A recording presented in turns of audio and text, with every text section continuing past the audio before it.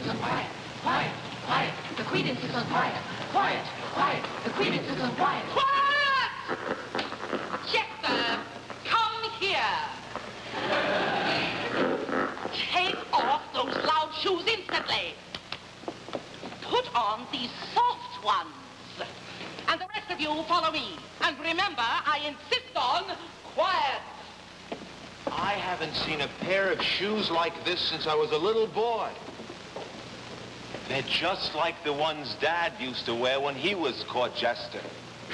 Those were the days. I'm far from sentimental or romantic. And I'd like to think I'm strictly up to date. But at times the dancing gets a bit too frantic in these hectic days of 1428. So indulge me as I pause to raise my chalice to a quaint and charming dance they used to do. In the days when my dear father played the palace back in 1392, my dad was debonair and quite as light as air. In his very soft shoes, how he could dip and glide and skip and slip and slide. In his very soft shoes, I used to stand and watch him every day. He was always smooth and cool. I used to love to hear the people say a regular dancing fool. He barely touched the ground and never made a sound. But I've noticed in all his reviews that when, when he took his bow to the crowd and the crowd, the crowd went crazy and the house came down. When Daddy wore his very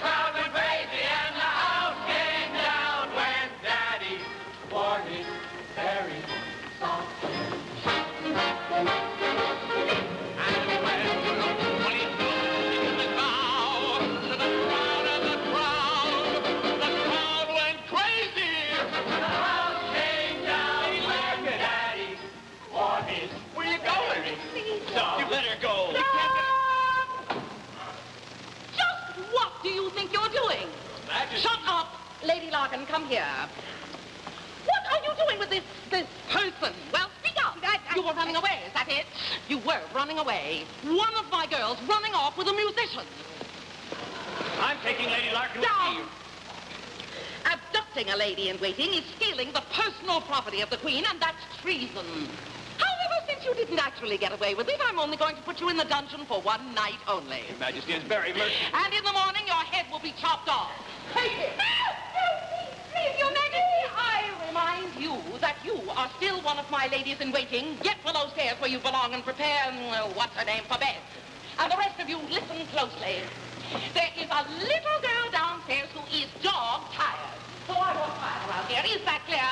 I want quiet, and I am going to get quiet if I have to scream the palace down. quiet! Quiet. And when he took his vow, the crowd and the crown. The crowd went crazy. The house came